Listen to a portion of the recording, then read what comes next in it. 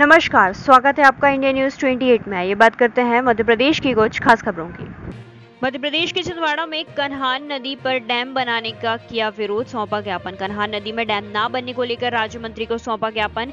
करमोहनी बंधी अनुसूचित जाति आयोग के सदस्य गुरुचरण खरे को सोमवार को करमोहनी बंधी कार्यालय में पहुंचकर ग्राम करमोहनी बंधी, नंदोरा हरियागढ़ और करहैया के रहवासियों ने कन्हान नदी पर बन रहे डैम पर रोक लगाने के लिए ज्ञापन सौंपा। ग्रामीणों का कहना है कि इस डैम को अन्य दूसरी जगह बनाया जाए।